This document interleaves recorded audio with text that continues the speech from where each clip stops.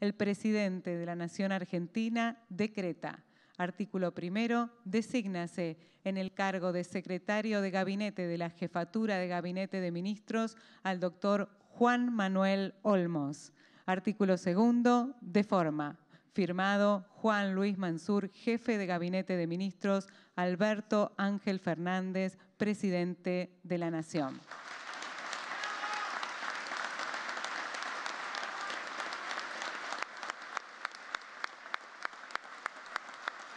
Es una alegría enorme, enorme poder eh, tomar el juramento hoy a, un hombre que conozco hace mucho tiempo.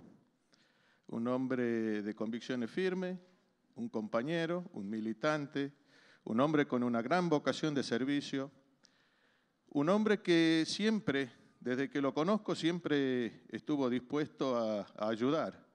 Y ayudar eh, a, cambio, a cambio de nada.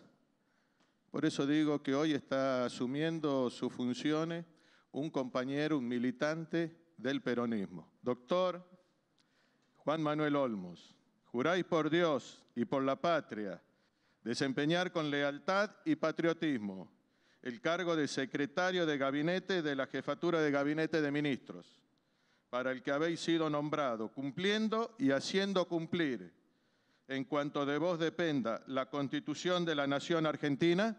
Sí, juro.